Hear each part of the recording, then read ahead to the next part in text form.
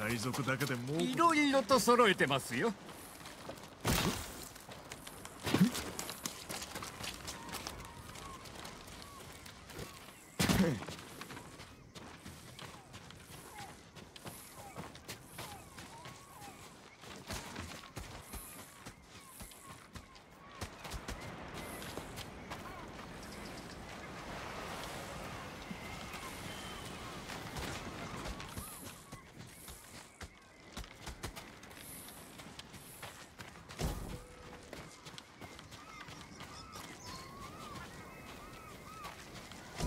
あんた誰だ？息に知らん顔はないと思ったが。旅の者だが島から出られずにおる。でしたらこちらへ。昔語りを聞かにはなりませんが。皆で手を取り合いこたびも乗り越えよう。侍からどれほど苦しめられたか忘れたわけではあるまい。こたびは昔ほど甘くはないぞ。何を言う？これだから和コードはいかんのだ。では息に暗き日々を招いた侍の襲来を語ろう。その侍の名は酒井忠。とうとういつとせの昔非常なる侍の群れが一気に襲い来た。頭の名は酒井忠。人斬りの酒井だ。酒井の馬はおぞましき荒駒主の心を映した真黒なる鎧をまとう。得たり人斬りは随分な抜かりをいたした。己がせがれを伴ったのだ。我らはせがれを虜となした。地に飢えし山犬の父を釣り出すためだ。グローなる酒井は罠へと飛び入った。その荒駒も無残に死んで人斬りとせがれのみただ生き残り逃げおった。卑怯者よ。虚偽を申すな。全てざれ言だ。俺は戦場谷の出この目で始終見たんだよ。俺もだ。どういうことだ？我が名は酒井仁。酒井忠の嫡男。父は息を救おうとなされた。救う？人を殺してか？己らこそ恩をあだで返しょって。恩なんて感じじゃねえ敵討ちのために生きに来たんだな。嘘つきではあるが敵として切る気はない。まだ敵じゃないだけだ。やめとくれ。まるで犬の喧嘩だよ。敵討ちではない。助けに来たのだ。父上の馬鎧のことだがあの日以来雪型知らず。だろうな。ありかを知りたい。大高族と戦うために使う侍に教えるくらいなら死ぬ方がマシだ。お侍もう出てってくれ。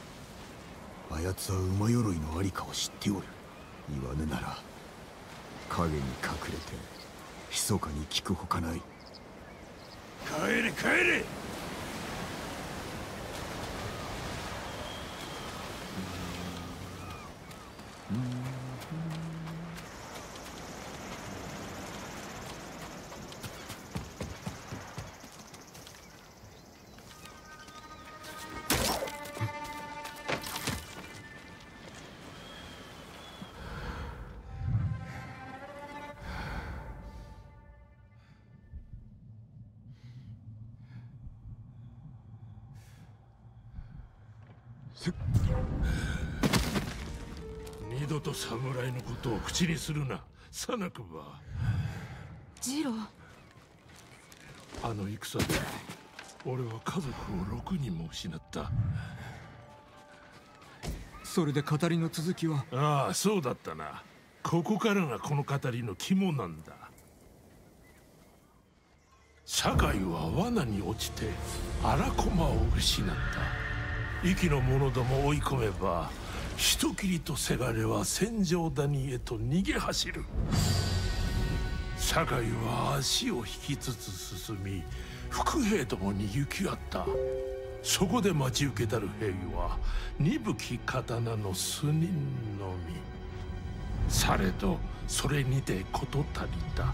ただ人たちが酒井忠の子宮を奪った。侍どもは逃げ帰り我らは堺の馬から鎧を剥いだそれからは息の高き馬に鎧を着せたがいずれも乗り手を殺めたのだ。あたかも人斬りの怨念がたたるがごとくな。しかしてこれを飯田なる秋人へと売り渡した。馬鎧を積んだ船が沖へ出た時のことだ。急な大風が息を襲った。空に轟く雷鳴は時の声とも思われて荒ぶる風が岸壁に飯田が船を吹き寄せて海の木図へ。その船はまだ船座の津にあるという。伊豆国か船の儚る船座の津。堺の馬の鎧やあらん。さても恐ろしき話だの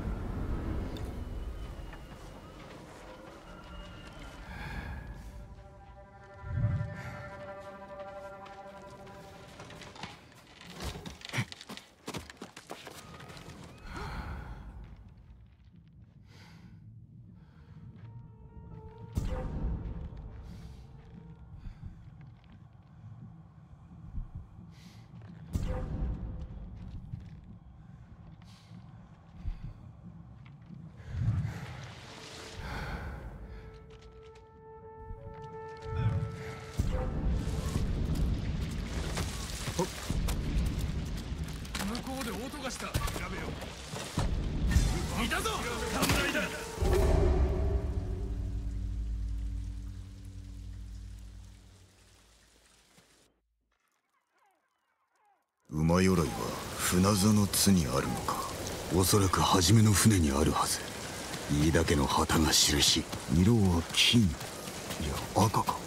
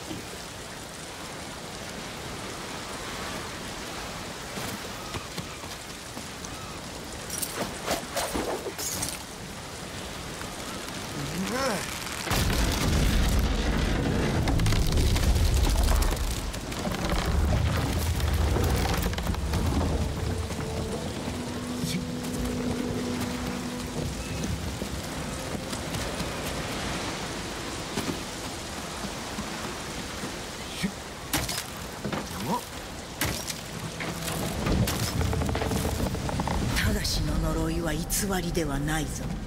あの鎧を馬に着せれば馬はただしのごとく生き血を欲し己を殺すであろう。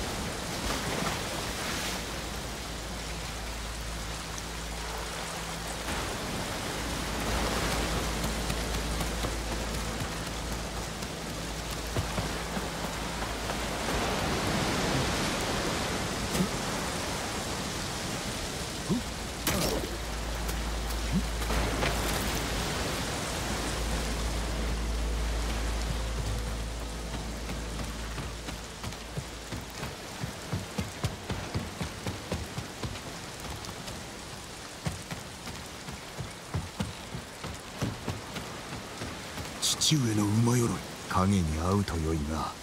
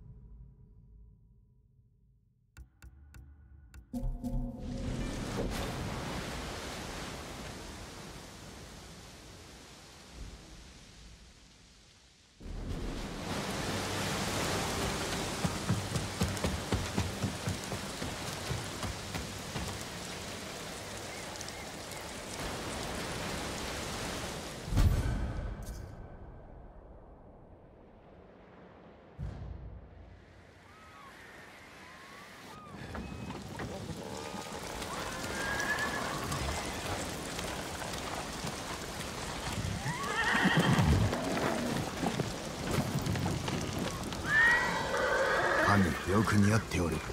呪われていようと俺を落とすでないぞ。まるで父上の馬のようだ。流れやから守ってくれよ。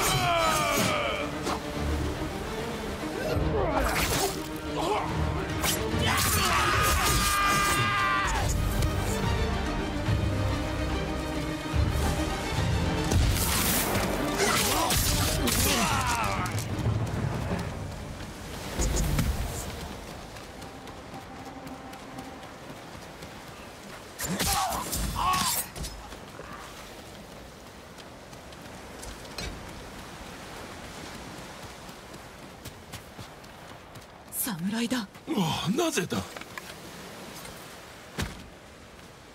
その馬鎧まさか。酒井忠の馬鎧その祖が受け継ぎ呪いは消え失せた。あれほどの仕打ちを受けてなお助けてくれるとは。敵を見定めるがよい。かつて俺は弱きを助くよう教えを受けた。叔父の志村殿とお前の言う人切りから父子のことは決して許せねえ。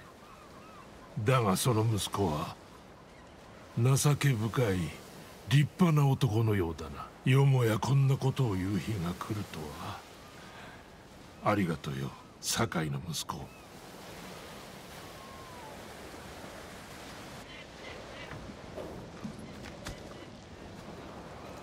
いい子だ影。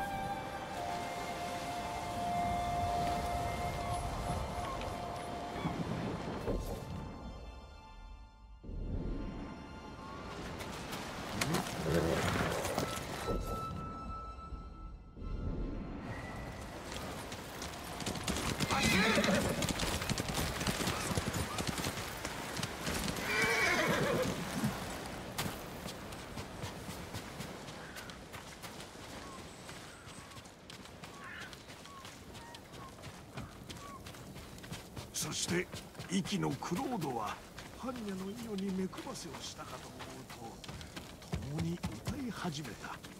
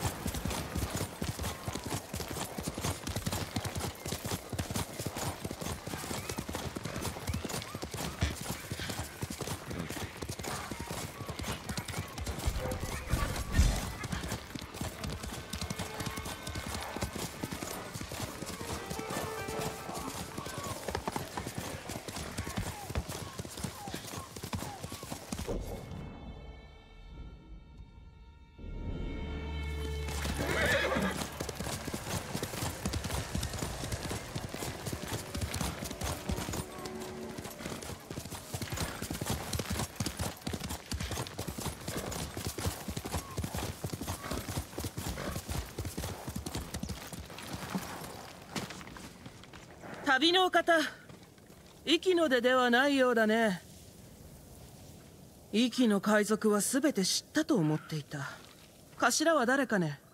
仲間はいない。名はジンだ。私は椿。馬鎧の染料を売っている。先日馬鎧を手に入れた。酒井忠が使っていたものだ。呪われていると聞いたがではそなたが生きている間に頼みたいことがある。堺家の旗を見たことは雨風にさらされて色は抜け落ちたがね。今や侍が戦に敗れた地の印にされているだけだ。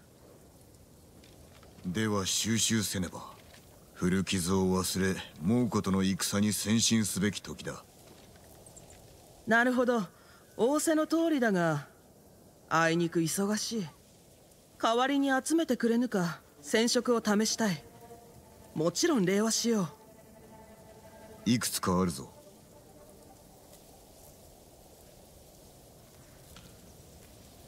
さあ坂井家の旗だ。侍が壱岐に来た日のことを思い出す。私は兄といた。父母は村の守りをしつらっていて隠れているよう言われたのだが私らは抜け出してね。山から海を眺めた。初めは真っ暗だったがじきに空が白ばむと侍の船が現れて思わず兄の手を握った。爪で皮膚をえぐるほどに兄も黙ったままだった。妙だ。幾年も忘れていたのに。旗を見て蘇ったのだろう。やだねさこの染めはそなたの馬によく合いそうだ。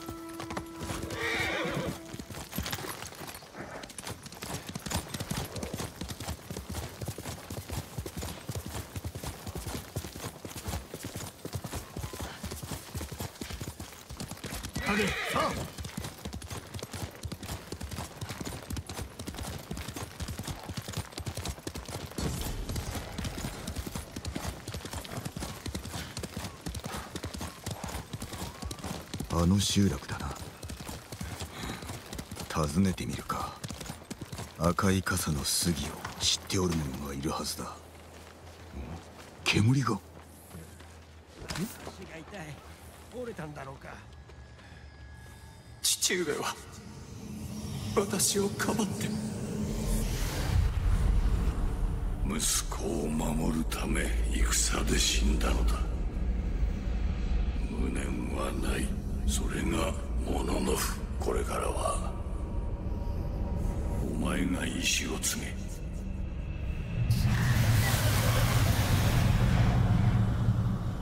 自慢のことなったでしょうかさっきの話は嘘だ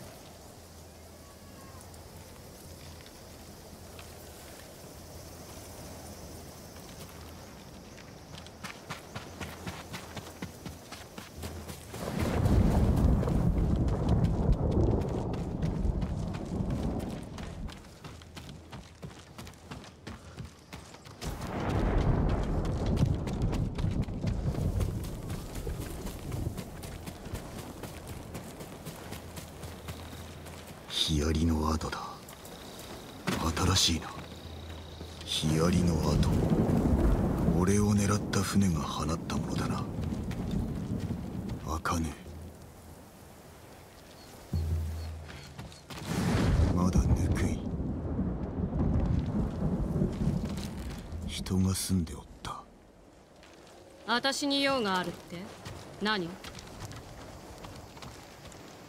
害するつもりはない陣と申すことづてがある。集落を襲った船は山猫という海賊のもの。共に奴らを倒そう。私の居所知られてた。離れよう。集落のためだ。やだ！やめて！何も知りません。遅かったか。2をまとめて。私が戻るまでに。あんたは来な。待ってるからな。無理はしないようにするよ。どうせ無理ばかりするくせに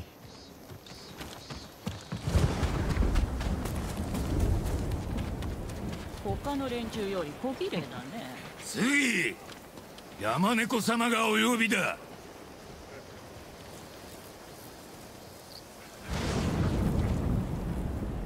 セーベ使いが上手くなったじゃないか。俺らは猛虎と手を組んだ。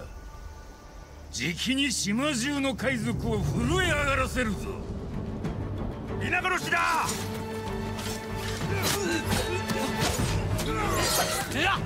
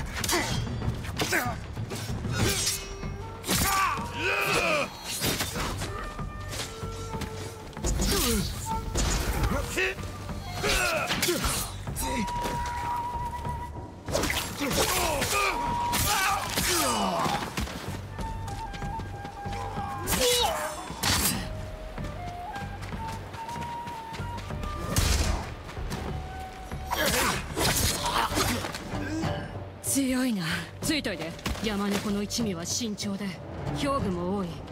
船を止める時と場所も定めてる。なぜ知っておる？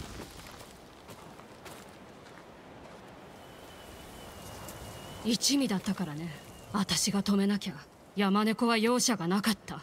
三平に会ってその務めが嫌になったんだよ。でも逃げ切れるわけがなかった。奴らの港を言え。俺が行く。一人で行くなら私は降りるでは結託するほかないな。立ちさばきを見て奴らを出し抜ける案が浮かんだんだ。でもその前にあいつらの巣を調べる。西の海辺に村の跡がある。そこで会おう。ブーンを。あんたも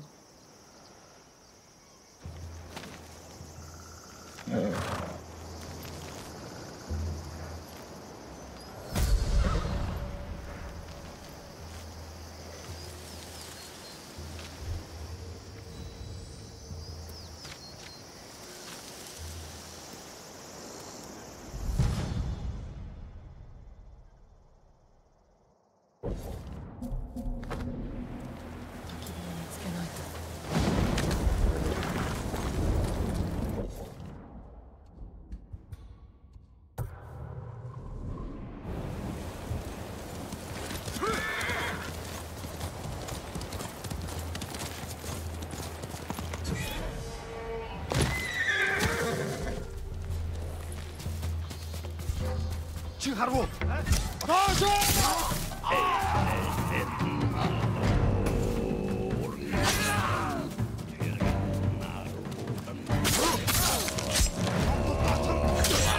地の底で父に会ってくるがよい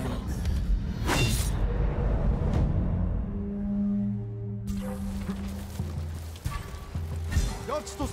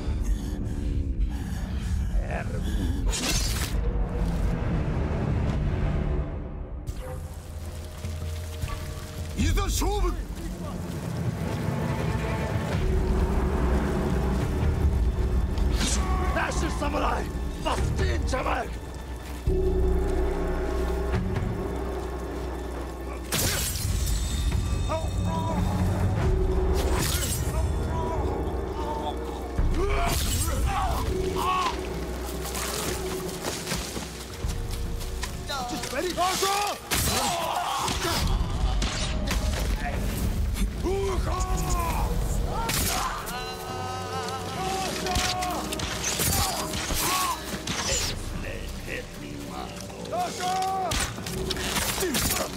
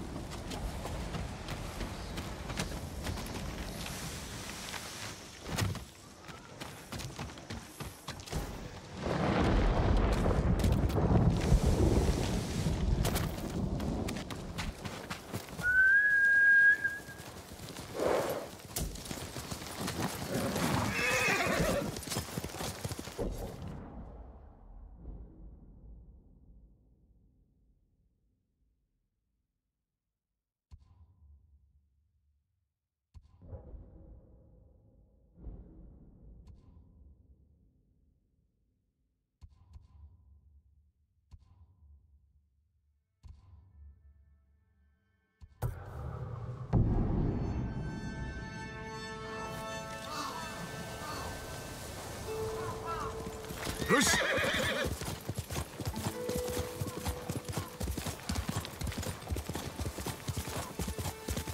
杉と落ち合うはずだがどこにおる？さあ来い。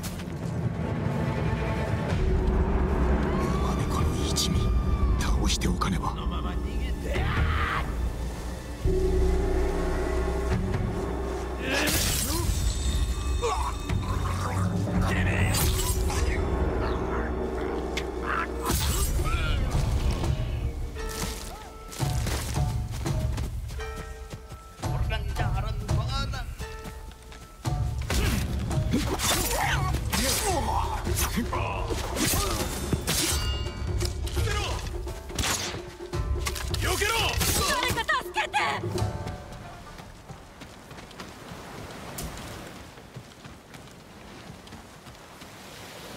逃がしてやる。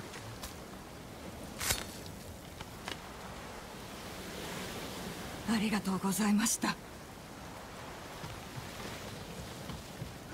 見惚れちまったよ。あんた侍ではないの？実は何者なんだい？お主と同じ人に追われる身だ。入江を探った。あいつら人とヒアリを引き換えてる。人売りということか。これ以上許すわけにはいかん。ああ二手に分かれよう。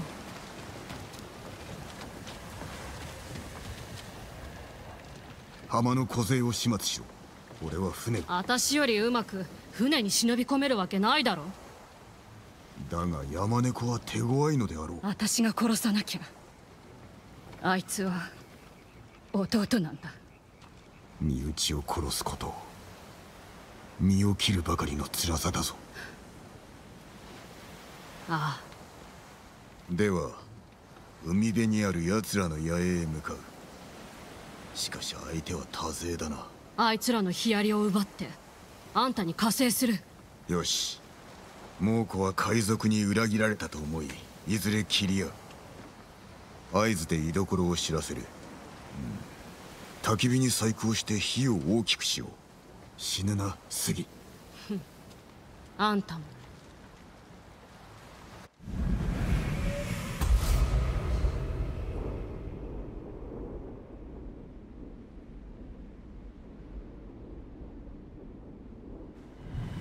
近くに高台がある。万平がいるけど。万平は俺が切る。その後北の海辺で待つ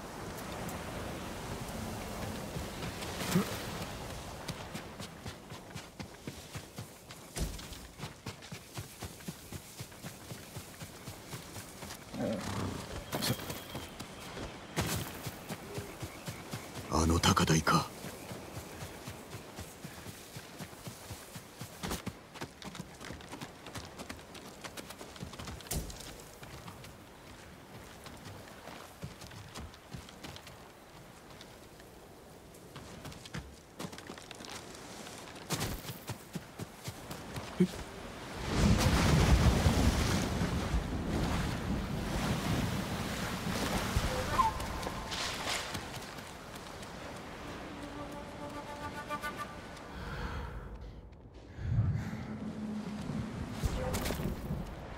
何の音だ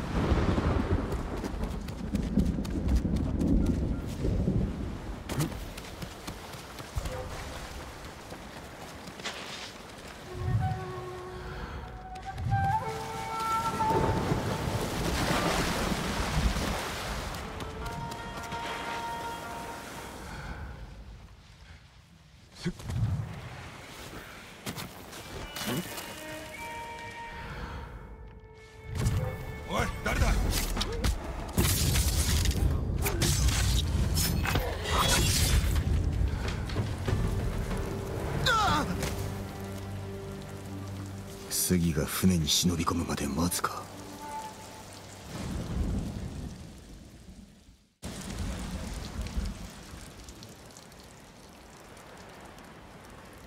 調べてみよう。海賊と猛虎兵。厄介だな。焚き火を用いて合図を送ればヒヤリを放てよ。この結託も今日までだ。杉に知らせよう